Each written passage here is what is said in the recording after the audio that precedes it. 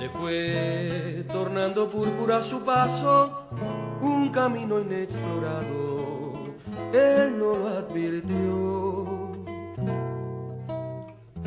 Llovió sobre su frente y sediento consumió el agua del tiempo, él no lo advirtió.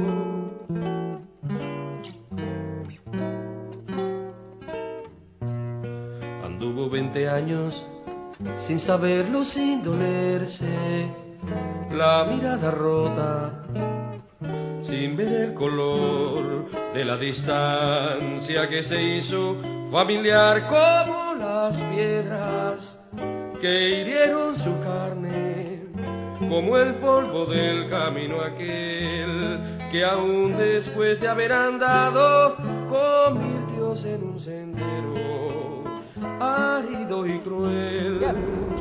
I'm done. I don't know what to do. I'm tired. Me rodó right, right. sobre la arena, casi delirante, como alucinado, divisó el gris contorno de un paraje, era la orilla